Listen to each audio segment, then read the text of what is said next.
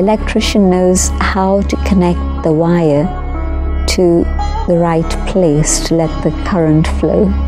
So that is a bit of an electrician. She knows how to join the wires together.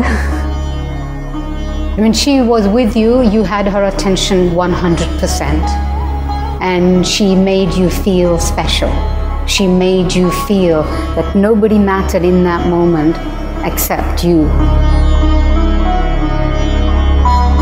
I stopped in front of her and she actually said something to me that was, to me, it was so powerful. And all of a sudden, I completely started sobbing. And I want to tell you, I've never, no one has ever, ever made me cry in my entire life. I mean, even when my parents died, I didn't shed a tear. I don't cry.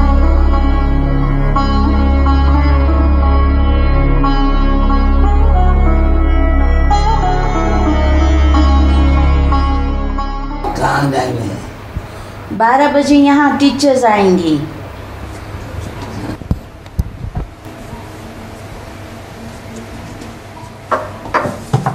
She does this every time I put powder on. She takes my sari and she wipes her face with it. Behind those fragile little hands, there is a great story to tell. A story that is now more than 100 years old. It's an extraordinary story, one that speaks to the heart of humanity. Also, wherever she goes, she'll always go to Baba's room before she leaves. For the past 20 years, Hansa Chapaneri has witnessed this story unfold, looking after Dadi with tireless care wherever she goes. बाबा को मिल के फिर खाएंगे ऐसे भी खा सकते हैं ना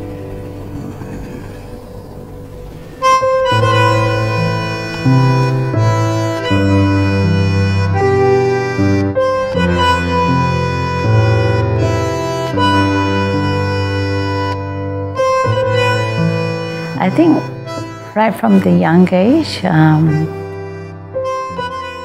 I've always been a caring person, especially with the elderly.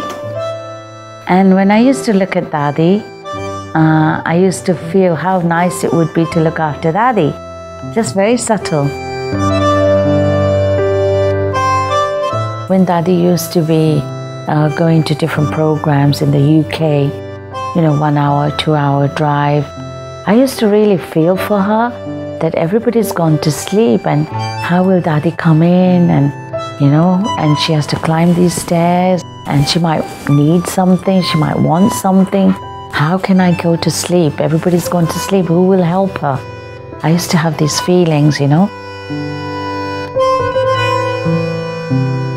Every detail is highly significant in Dadi's story, every step she took. And 20 years ago, Hansa could never have imagined the journey that would give Dadi the power to touch so many lives. She is the one who opened the door of my heart to allow God to come in.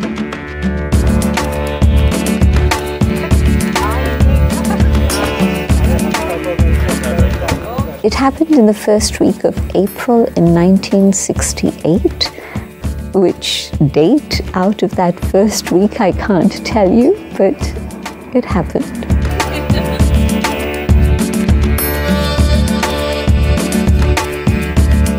What happened was uh, she spoke to me about conscience, and that was a very important trigger because I'd been thinking about choices and how to make choices, and feeling that I didn't have enough capacity to be able to make my choice.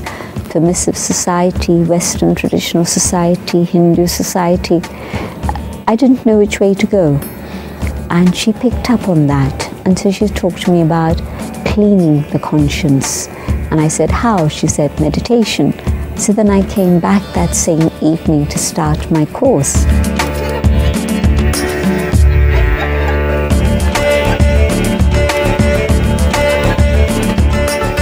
So the first day was the awareness of the soul, and I felt as if I was flying home, I wasn't walking home. And then when she gave me that drishti, it lifted me into another realm. and gave me that experience of connecting with God's love. Jayanti Kirpalani and her mother always had a close connection with the founder of the Brahma Kumaris, Brahma Baba. Jayanti's grandfather was Brahma's cousin. She met Brahma for the first time at the age of eight and completely dedicated herself to follow his teachings 11 years later, at the age of 19. And if we want to tell the story of Dadi and open the book of her life, it would be hard to find someone more qualified than her. And guess who this is? very, very young Dadi. Sister Jayanti, as she is now called, knows Dadi's life literally by heart and all the details behind almost every picture. You can see Dadi in her little jacket. Dadi's story is what she calls the story of a spiritual genius. Dadi's earliest memory is of being two years of age in her cradle and she was hearing her uncle chant the name of Rama, the name of God. And so she was born into a very religious family, a philanthropic family. Her parents decided that rather than put her in a normal school, a pundit would come home and would teach her at home from the scriptures. And this continued till age nine. And at that time, then she went to school just for three years. And in three years, she managed to pass six different levels. Um, she was a bright student, as you can imagine. And age 11, um, she said to her father, um, it was time to study science at school. And she said to her father that science might change my mind about God and take me away from God. And I don't want that to happen. So let me have my further education by going on pilgrimage. And so her father shut up shop and took her on pilgrimage to the four corners of India.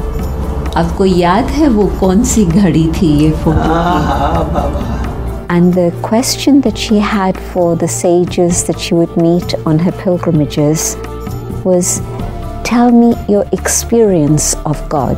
Don't talk to me about God or what the scriptures say. Tell me your personal experience. And from the blank look in their eyes, she knew that it was something they were striving for, but they hadn't yet come to. It tells me that this has been the whole of her life. There hasn't been any other interest in her life except to know God and to know the self, and secondly, to serve humanity.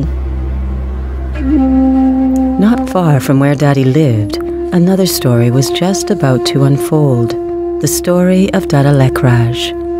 Born in a very religious family, the son of a school teacher in Hyderabad in the state of Sindh, Dada Lekraj had been on a spiritual quest since the early 1930s. When he was approaching his age of retirement, he underwent a series of visionary experiences that would transform him completely. Seeking a higher understanding of God and divine truth, he created a spiritual gathering called Om Mandali, which later would become the Brahma Kumaris. And just a few months before he passed away, Sister Jayanti already had decided which path to follow. She would quickly become one of the main voices of the Brahma Kumaris outside of India and a brilliant spokesperson to make the teachings known at all levels of society. What did you do to it? Uh, I fell over my, the handlebars of my bike. I went to pick up the laundry. On the Now based in London, Sister Jayanti knows how much Dadi Janki's spiritual presence can impact those she meets. Lord Stone came to know Dadi and the Brahma Kumaris over 20 years ago, about the same time he joined the House of Lords in England. Thus began 20 years of spiritual friendship that would bring a new perspective to his work around the world. Because I'm dyslexic and dyspraxic and um, not talented, I don't think in a logical, linear, linguistic way. I read people's sort of vibrations. And what I get from here is that the vibration is just full of love and compassion. And that's uh, what uh, makes me trust them and know that they can be trusted.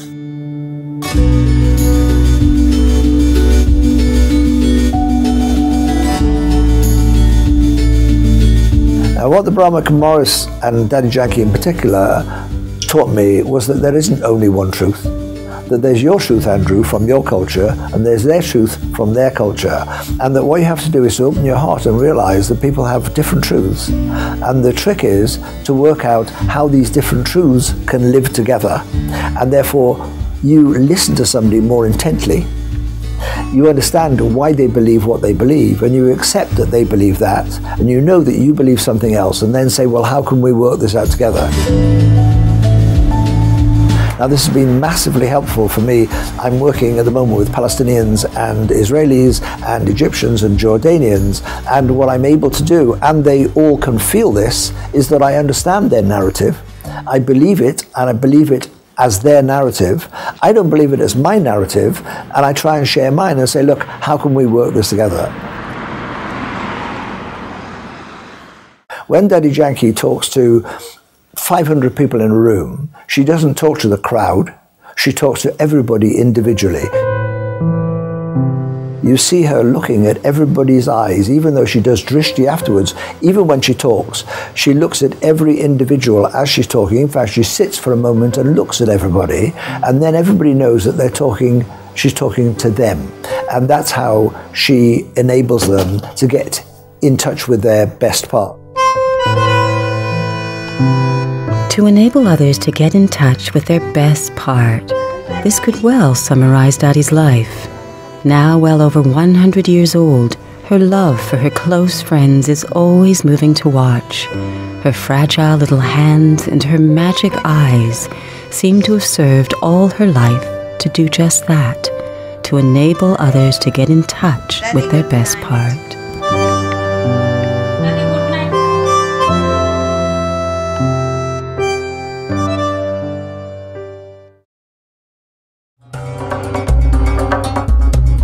In 2010, Dadi Janki decided to revisit where it all started for her.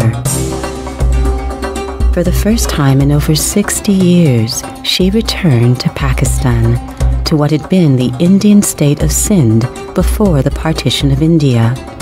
This was where she was born in 1916.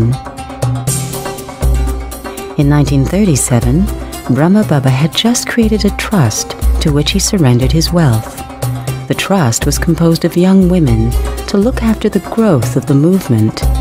For Dadi Janki, this was walking in the footprints of her past when she met Brahma for the first time in that year of 1937. She was out in the park in the early morning hours with her father, and she saw this person coming towards them.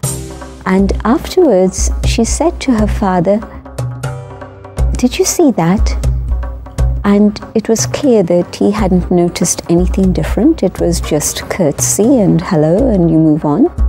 But what she saw was light. She didn't see this man, she saw this amazing glow of light. And that made her understand that something very unique had happened. And when she investigated further, she found the teachings that were being shared through this man. At that time, Dadi was only 21 years old, and before being able to fully join the group, she had to find ways to leave a painful marriage that was imposed upon her. When Dadi finally moved in with the other women, she was asked to take on a very special responsibility. क्योंकि मैं nurse थी ना यहाँ तो nurse थी तो बहुत सेवा नर्स करती थी And at that point, she was asked to become the nurse for the community. And she took on that role of nursing anybody who was not well and taking care of them, um, even though her own physical health had never been strong. She'd already been through pneumonia and TB and all sorts of things. But um, her love for service was such that she took that on and um, they only called a doctor twice within the space of 14 years for a community of around 300. I think people found her a bit of a loner they found her too serious and they respected her and admired her for what she was doing. And of course, most of them were beneficiaries from her medical care at some point. Um, but generally, the feeling was she's a loner and she's too serious. but these years were, for Dadi Janki, an opportunity to create the foundation of what would become her unique ability to impact others in such profound ways. She poured herself into her love for study and her love for God. For the first 14 years of the institution, the men and women that joined almost completely isolated themselves from the rest of the world and focused on their relationship with God and their spiritual study. Other people didn't recognize her because the work she was doing was quite physical. They had no idea of the intense work that was going on in the laboratory of her own mind and the way in which she was reflecting and applying those truths within her own life. Um, because she was so intense, they sort of left her alone in silence to get on with whatever she was getting on with. So other people would have been very surprised within the community, but Brahma Baba recognized the jewel that she is. Yeah. People's vision would get focused on Brahma Baba rather than the message he was giving. You know, it always happens, you remember the messenger rather than the message. And so the message that Brahma Baba was giving was connect with the divine, connect with the divine. And so people like Dadi Janki who loved Brahma Baba but followed the message and connected with God directly were the ones who had the power and the capacity to carry things forward after Brahma Baba's departure. जब भी मैं कुछ मुख से बोलती हूँ पहले silence जाती हूँ साखियों को देखती हूँ संसार में मनुष्यों की एनर्जी कितनी उतरती कला में। ये रियलाइज़ होना चाहिए। चढ़ती कला में कैसे जावे? चढ़ती कला में दो बातों की शक्ति लेके जाती है। एक आत्म शक्ति दूसरा परमात्मा की कनेक्शन की शक्ति। एनर्जी बनती है।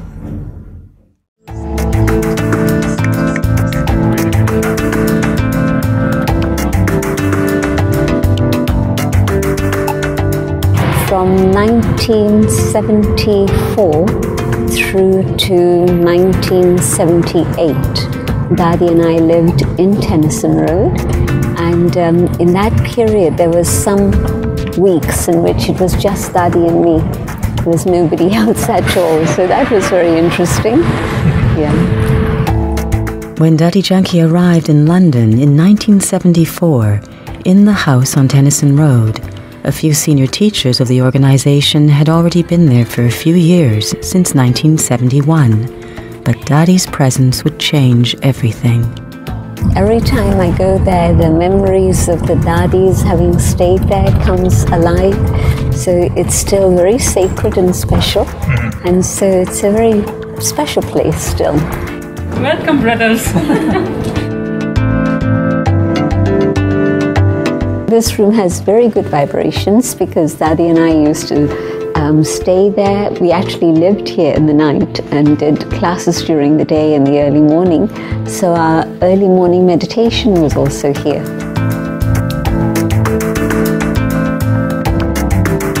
The world was very different. We didn't know about terrorist attacks. We didn't know about um, suicide bombs. It was a very different world. It was around that time that meditation had just come into vogue and people were thinking about, you know, the flower power people. Have you heard of them? the dining table was there and the cooking area was here. In theory, I had known that these teachings are for the world, but I didn't have any example in front of me to tell me that this is the reality. And now I was seeing people of different culture, different race, different religion um, come, and the way Dadi would explain to them, I would do some of the teaching, but Dadi would then meet with them, explain further, answer their questions, and then nurture them through the whole shift from being out there in the world to becoming a yogi. Still living out there in the world, but now with yogic principles.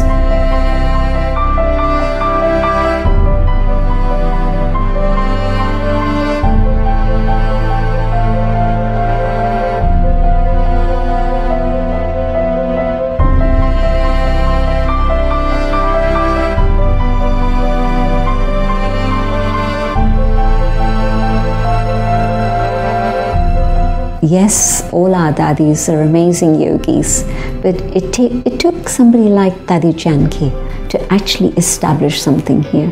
And she was absolutely the right person because her deep understanding of spirituality and the way she translates it to others and how they're able to then digest it and apply it in their life.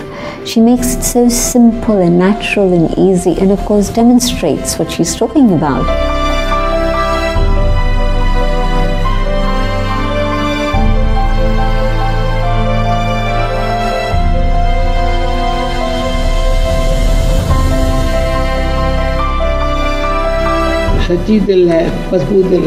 when there's a true heart, it's a strong heart. हम किस पर depend नहीं हैं I don't have to depend on anyone. भगवान को साथी बना लिया है If I make God my companion, भगवान हमारा साथी है so God is my companion. Okay thank you Om Shanti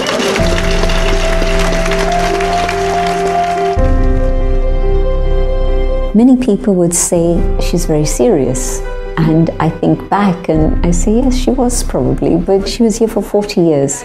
So the latter part, um, she would be so humorous. Um, she wouldn't take a class without having several pauses for laughter in between. जहान के नूर हो तुम्हारे नूर से जहान को बाप दिखाई पड़ेगा सुना तुम्हारे नूर से जहान को जिसके जिसका जिसके साथ प्यार होता है उसके नूर से पता चलता है So the quality of her classes changed, the way she interacted with people changed. She was much more loving in an expressive way, not just in a deep, silent yogic way. When she came in 74, I think it would have been difficult to imagine Dadi dancing. And then the last few times that she came to London, that's what she would say let's dance.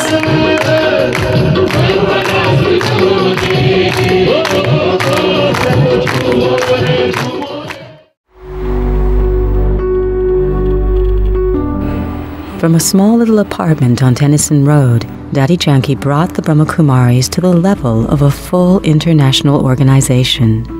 The main center in London became the international headquarters for centers outside of India, reaching out to countries all over the world. And every location would develop a unique relationship with Dadi Janki. So her faith and her commitment created this building. I absolutely believe that. Um, architects were involved, contractors were involved, financial people were involved, engineers were involved, of course. But it was Dadi's faith and commitment that actually made it a reality. And the same for Oxford.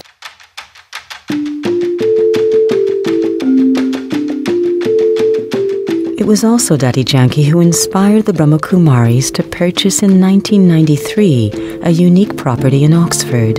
This would become a retreat center where thousands of people would come every year for spiritual renewal.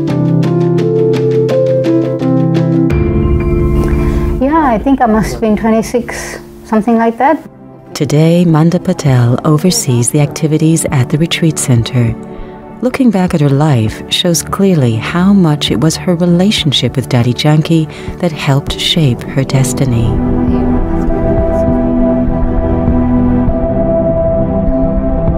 And by the time I was 21, I don't know, something just made me feel like I really need to think about what do I want? Do I really want to do this thing that, you know, everybody, on the, there's a part of me that did want to get married and did want to be kind of, you know, have a happy life like that.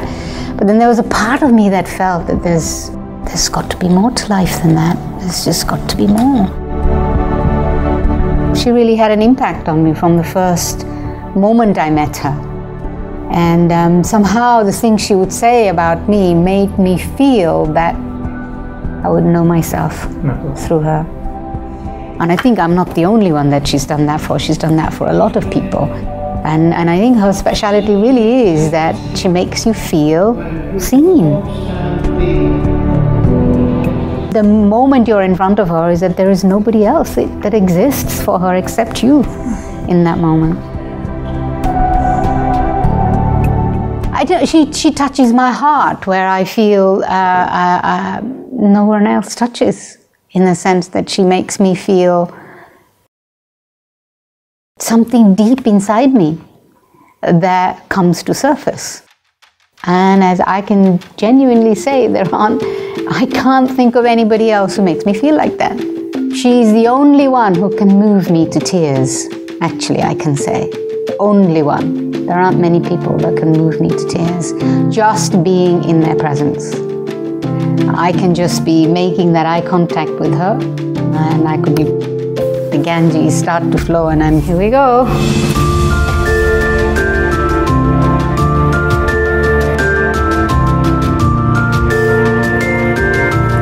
Well, she worked on me a lot. Sometimes she worked on me with love. Um, and sometimes she worked on me with taking a, a little stick when I was misbehaving a little bit. She was tough. She, she had high expectations of you. And um, she, but you know, I felt that she saw my potential and had the high expectations. And I felt that I could, I, I, I just, I danced, I danced to the tune. And I know that some who couldn't, they just kind of got out the way. She always had a very high vision for people. When she saw the potential, she she never let go of that, even when they didn't see it.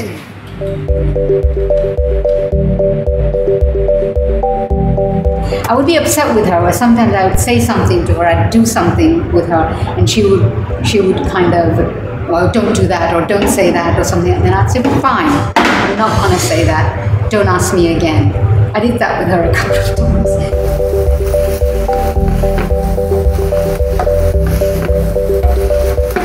Have to say, I kind of she played different roles for me. She was a teacher, she was a friend. I could say things that I was having difficulty with, probably with her, more than I probably could with anybody else, because I kind of felt like she was always sympathetic, or she would understand, and she would say, "Don't worry about it." She would make me feel that even if you're going through difficult times right now, it's going to be okay. And she trusted me to go through it and come out the other side. Heavy.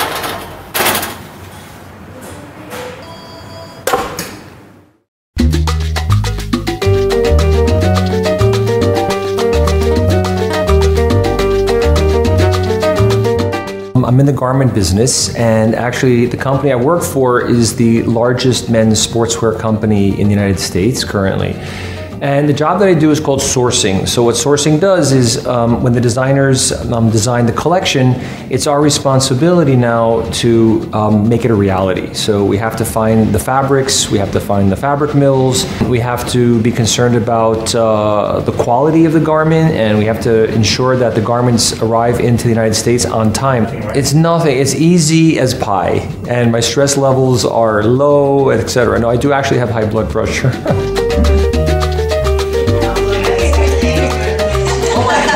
This is the biggest meeting we've ever had. Brad Arkin is highly skilled in interacting with others.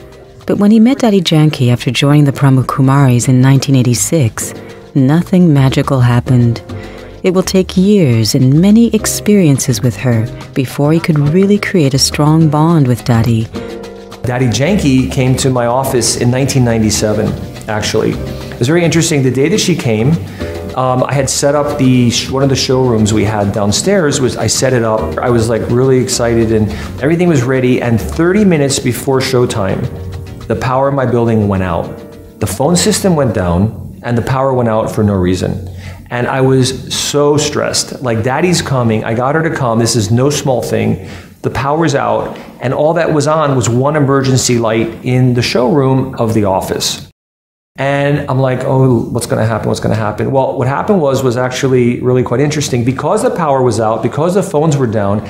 Every single person in the office had nothing to do. They all filed into the showroom. 100 people, and I was expecting maybe 15, 20 max because this is back in 1997. So, you know, some people might have been curious, but, you know, most people weren't interested. And he said meditation, it didn't mean anything to anybody at that time. And since we're an import company, she told everybody which was really amazing. She says, You have to import power from God and export that power to people. And actually, one of the salesmen in the room, who was like a real jokester, real character, told me that in the meditation, he actually had a vision of Christ in the showroom. And after that, everybody was totally touched. For, for years later, everybody, I go in their cubicle, people kept for 10, 15 years, they kept the program up and Dadi's little, uh, some little note card that they give out of the program, they kept it up like pinned on their walls.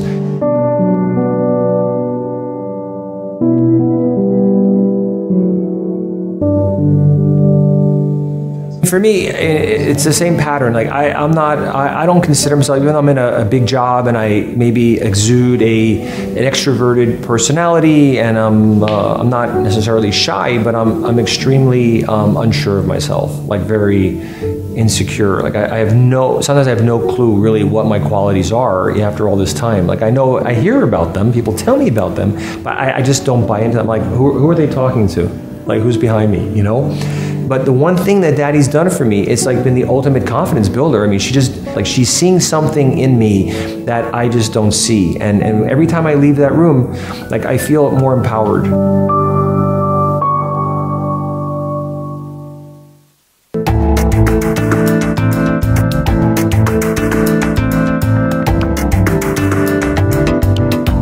As the world keeps on moving at a fast speed in a spin of constant change, Dadi Janki's ability to remain so determined to share God's love with the world seems to give to many the strength to return to the spiritual core of their being. Okay, so this is a very personal story. So I have no capacity to love myself. I find it very difficult. I can love other people, but then when I try to love myself, I find it very difficult because, as I say, I had an abusive childhood. Um, Dadi tries to reverse that, and she can. And she is massively perceptive. So, I, if I can tell you, um, so about 10 years ago, when she was 93, and I'd been coming here for 10 years, at the end of a talk to everybody, she offers you Toli, which is a lovely sweet, which I like, which is grown with love and um, picked with love and cooked with love and given with love. She gives you Toli and she gives you Drishti, which is she's channeling love into your eyes. She does it with 50, 100 people, each individually after every talk. So I'd been coming here for some years. I kneel in front of her, I take the Toli, I look at her, and she said, See me afterwards. So I thought, oh, what have I done wrong? So I had to wait till everybody finished. I go to a room, I take my shoes off. She said, Andrew, I've been giving Toli, uh, Drishti to millions of people and I give you drishti, and everybody knows that I am a spiritual being and I can channel from God and give you love. Everybody else opens their heart and takes it. You sit down there and you try to give me drishti, Andrew. She said, I'm 93, you cannot seduce me. I am telling you, you have to open your heart and let me give you love. Okay? And I'm going to do it now. And she went to do it, and it really hurt but I was able to take that. And for the first time, I was able to feel that I could accept and deserve love. Now, only when you love yourself can you give real love, and that's what she does. And if we can, all of us, accept that we are lovable and love others because they're the same as us, then uh, that's how she helps. You didn't come, did you? I have to stay here and make sure. Miss Kia. Security. Oh, I know. What else would do, Dadi? Security, Dadi. And also to open the house when people come.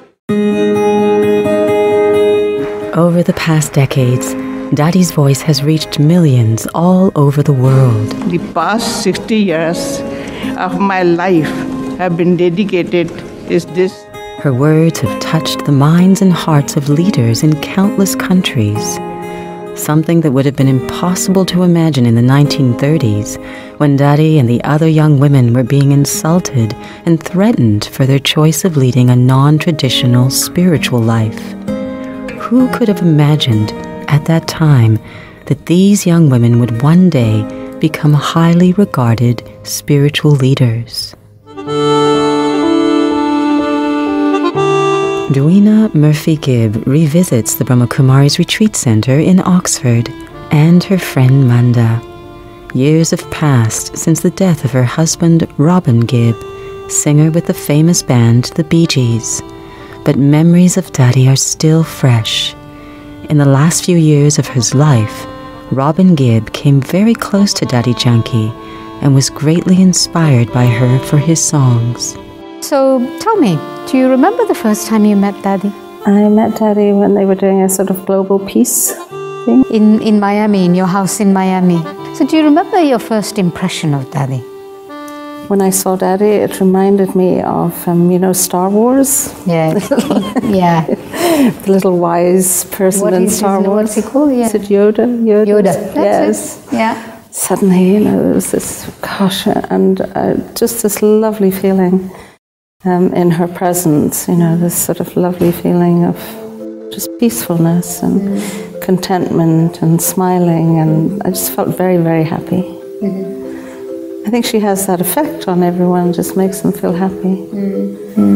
And then you forget any kind of worries, you know, and I think, oh, well, this is something I would like to ask Dadi, you know, or maybe there's some problem I have I would like, like to ask Dadi. And as soon as I'm in front of her, I've forgotten. Problems are gone.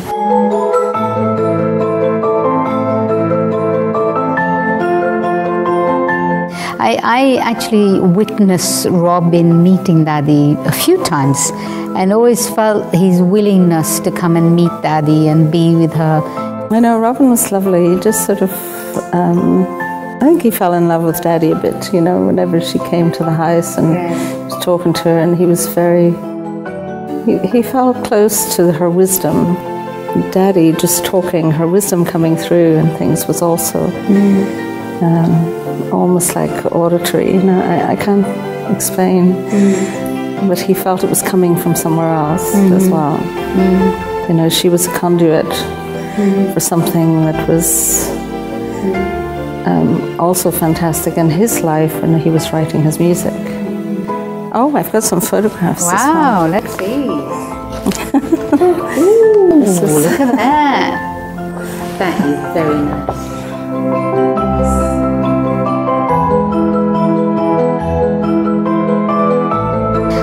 That? Um, uh, Robin had written a song, didn't he? Yes, He Mother of Love. Yeah, tell me about that He song. was inspired to write the song Mother of Love. It's a very special day today for a very special woman. Dadi Janki is 90 years old today. Being 90 is a great achievement in itself, but she's a very, very special woman and a great inspiration to me. And this next song is a brand new song that I wrote for her. I know we were going to Wembley. He still had it written on the paper. Do you remember? He was actually holding the paper, reading it as he was singing. Everything we have in life is changing.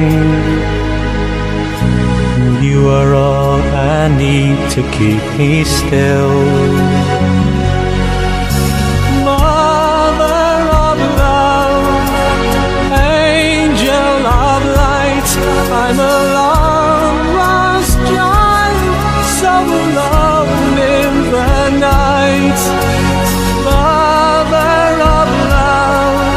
Know, sometimes I look at her love for, for God and I said, I just wish I had like a 20th of that. Like, where does that come from? You know, even when she said she was, even before she came to the Brahma Kumari, she had a love for God. I never did.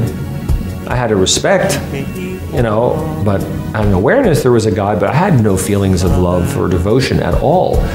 Keep me warm always be my lighthouse in the storm. Sometimes I, I, I just want to taste that for like one second. Like, what is that like?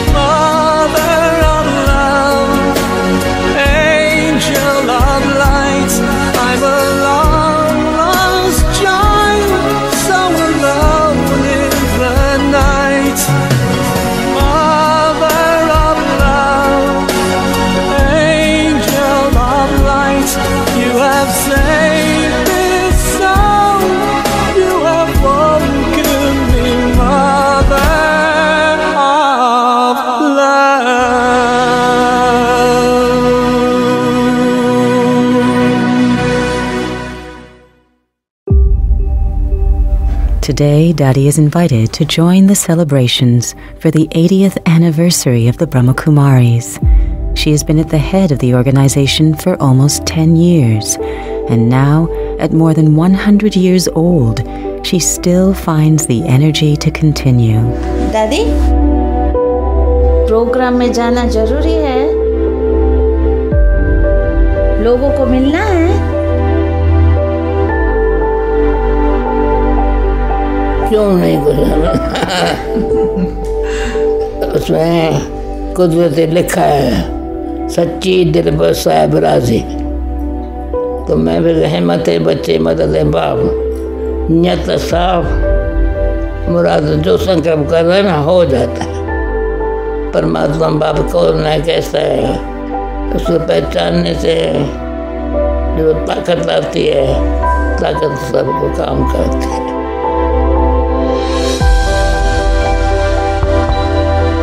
When one understands how fragile Dadi's health has been for her entire life and sees how much she has accomplished, it's natural to wonder about how she will be remembered in the future. Will this exemplary life become a memorial to inspire spiritual seekers to uplift their own lives?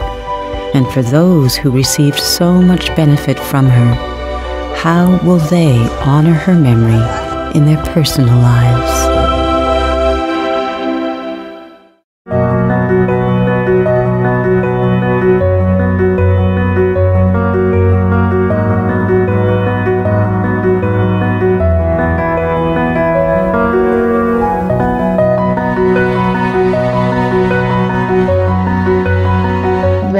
She became less and less present, you felt that missing. You really did feel that missing, that uh, now actually you've got to create that God's presence for yourself.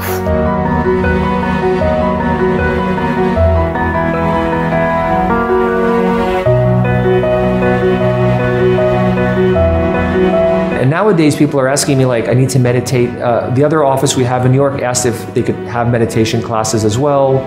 Um, and I never actually pushed it. Human Resources approached me about it. They said, Can we have meditation on site? My thing when Dadi um, does leave, it will be uh, it will be a big loss. But the only way to honor, you know, her life will be to, you know, to become everything that she's pumped into me.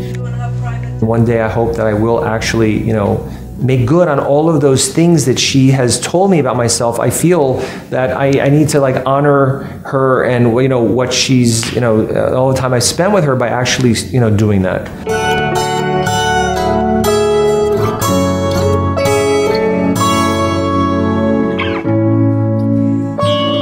You're not walking your talk, it doesn't matter what you're saying to people. And they might hear little bits and dribbles of things, but they're not going to really be impacted until you're actually, you know, really walking that talk. So it's, she's helped me walk that talk.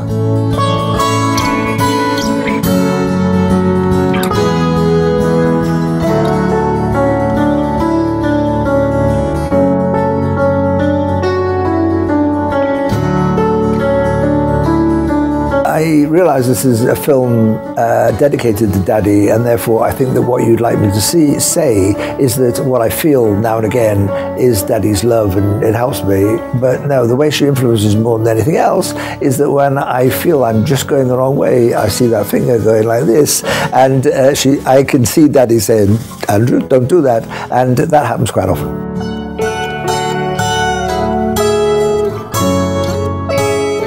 I know that I have to make myself very strong. That um, at least I helped her up until this age, you know, to keep her going. And yeah, you know, no one's going to live eternally. But before, you know, like um, all these years when I was just helping her, and you know, like um, it, it was like uh, you know, just a helper, and uh, you know, Dadi's carer. But now it's more that motherly love. Uh, it's different. It's intense now. That that's my little baby. And, you know, I have to take care of this little baby. You know, with whatever energy, whatever, uh, you know, however I can.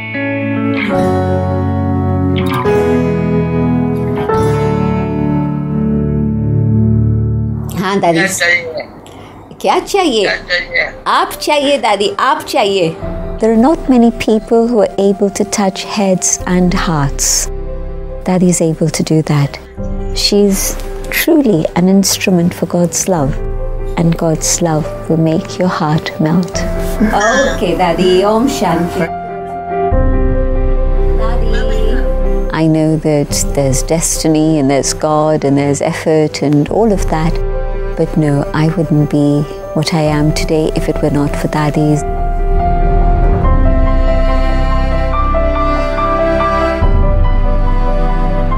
The hearts and lives she's touched. This is the legacy. And just like people here in this room, um, we've all been touched by Dadi. And so I think that this is maybe the, the biggest legacy you can leave, touching people's lives.